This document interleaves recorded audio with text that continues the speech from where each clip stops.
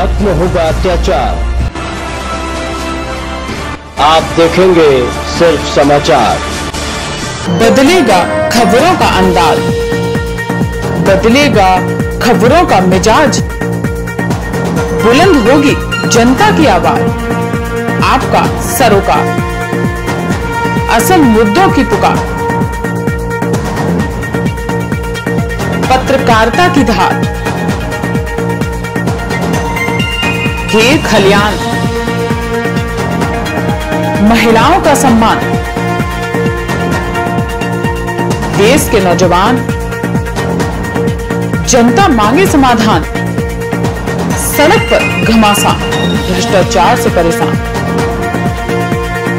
गरीबी के निशान। हमारे जवान।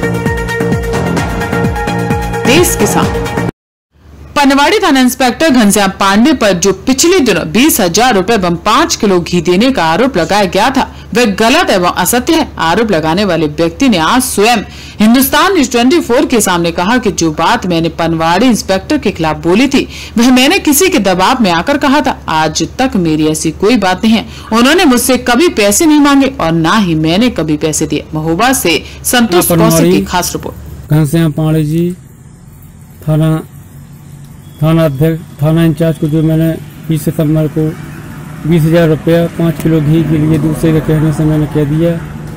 और ऐसी कोई बात नहीं है। न उनने मुझसे पैसा मंगाए, न मैंने उनको पैसा दिया, न घी दिया। और वो तो दूसरे ने कहा तो मैंने कह दिया। आइंदा ऐसी कोई बात ना होगी।